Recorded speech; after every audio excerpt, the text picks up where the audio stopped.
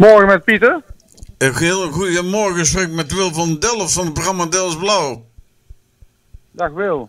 Dag, hoe gaat het met... Goedemorgen. Ja, goedemorgen, hoe, ga... hoe gaat het? Ja, goed. Ja, de Maar reden... ik mag niet klagen. Nou, de reden dat we eh, eh, eh, jullie hebben uitgenodigd, de Tavernebosch. We komen overal, we komen overal maar één keer. Ja, En komen overal, maar wel maar in een keer. ja, en we, maar, maar eh, ja, ik vind het een beetje vreemd, want normaal gesproken kreeg je toch meer op bij dezelfde de- de gelegenheden, of niet? Ja, zeker, zeker. Dat is gewoon een ludieke tekst. Ja. Maar wie heeft, dan, wie heeft dan deze tekst bedacht dan? Ja, daar heeft iemand in eh, mensen die ik eh, goed ken in eh, Limburg, die, eh, die hebben dat bedacht. Ja. Normaal, schrij- normaal schrijf ik zelf, maar deze hebben we toevallig van iemand overgenomen. Ja. Maar ik vond het een hele, hele, hele leuke tekst, dus eh, vandaar. Ja.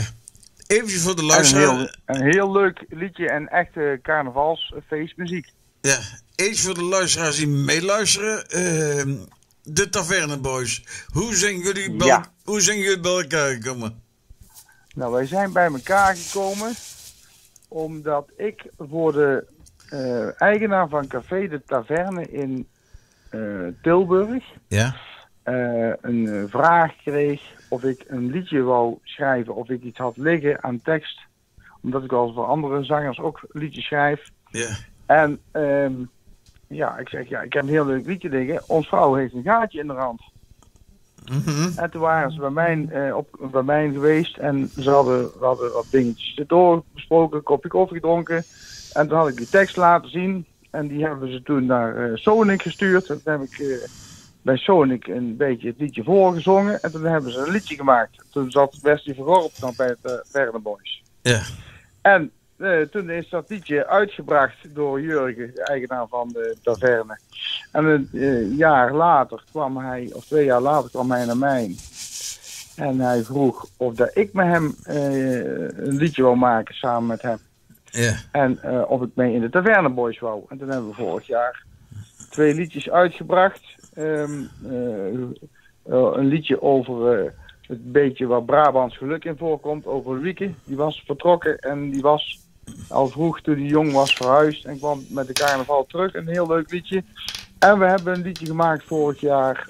ehm, samen over hoe voor mij niet zo knap te zijn, want je bent zo mooi van binnen. Ja.